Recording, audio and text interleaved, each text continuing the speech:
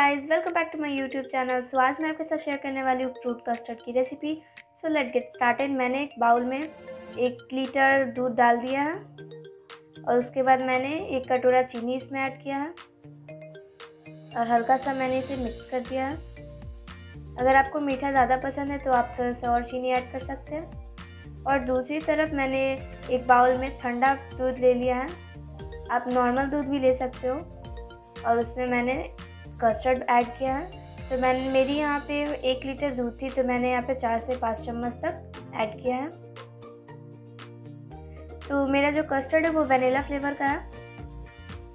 और fruit custard में vanilla flavour ही ज़्यादा अच्छा रहता है तो आप भी वेनिला फ्लेवर का ही कस्टर्ड लीजिएगा।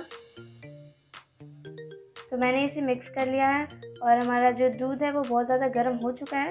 तो उसमें मैं धीरे धीरे कस्टर्ड को डालते हुए मिक्स कर रही हूँ। आपको डाल के छोड़ नहीं देना है, उस टाइम ही मिक्स करते रहना है। और फ्लेम को मैंने हाई कर लिया है। तो जब आपकी दूध पूरी अच्छे से गर्म हो जाए, उसके बाद ही आप इसमें कस्टर्ड ऐड करिएगा। और इसे आप अच्छे से मिक्स करते रहिए।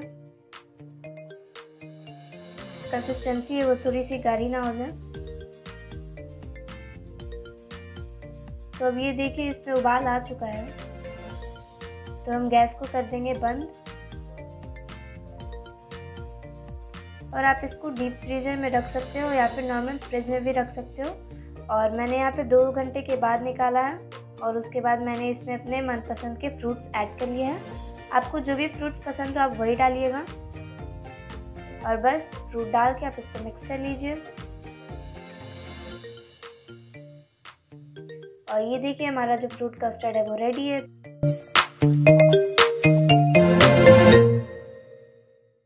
तो फटाफट से आप रेड कलर के सब्सक्राइब बटन पर क्लिक कर दीजिए और पटना किचन चैनल के मेंबर बन जाइए।